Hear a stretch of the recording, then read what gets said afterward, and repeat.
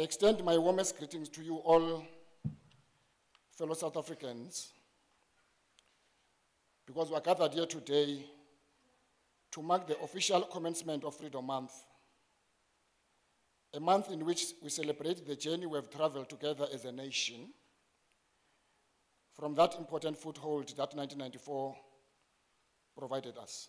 I am pleased to see in this room a very diverse group of people representing the diversity of our nation, which our diversity is our strength.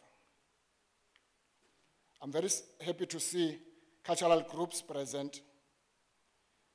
I'm very, see, I'm very happy to see sporting fraternity present. One of the issues that the President of the Republic emphasized is that perhaps the way we have been celebrating national days, we have not reached out to other national groups. And therefore, as we proceed to Matlosana in the Northwest for the 27th of April Freedom Day celebrations, the celebrations must not be about a day itself. It must, as, it, as we call it, Freedom Month celebrations. We gather under the theme consolidating and sustaining our democratic gains.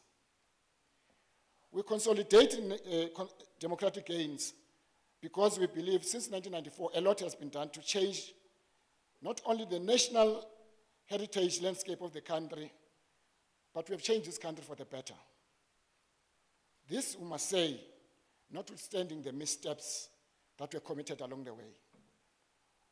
We must speak fondly and frankly about missteps because we must not hide difficulties and challenges to our people. There is therefore a reason to celebrate because the great strides have been made since 1994, and while it will be impossible to enumerate all of them, I think it will be important nonetheless that we foreground some of the most notable ones.